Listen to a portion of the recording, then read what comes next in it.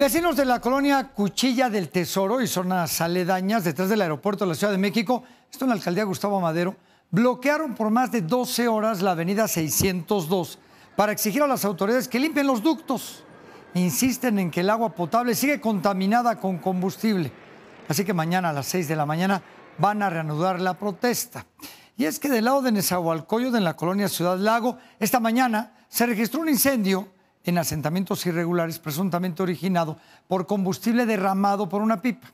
El reporte es con información de Carlos Guerrero.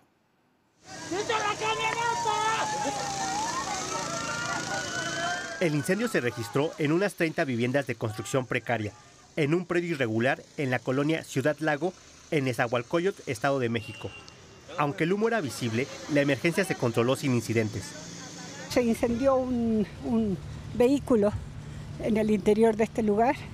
Hay una cantidad importante de almacenamiento de llantas.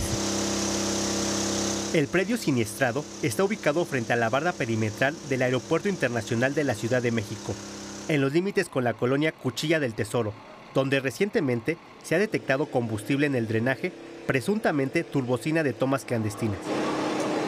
En la colonia Ciudad Lago, los vecinos también han denunciado recientemente el olor a combustible y una capa aceitosa en la red de drenaje.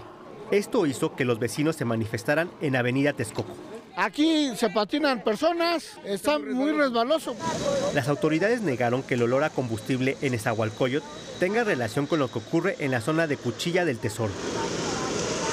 No es una toma clandestina, por aquí no pasa ningún ducto. Huele bastante a combustible porque aquí hubo un choque hace un par de días atrás, tres, cuatro días atrás, justamente de una pipa que dejó, te digo, mucho olor en el, piso.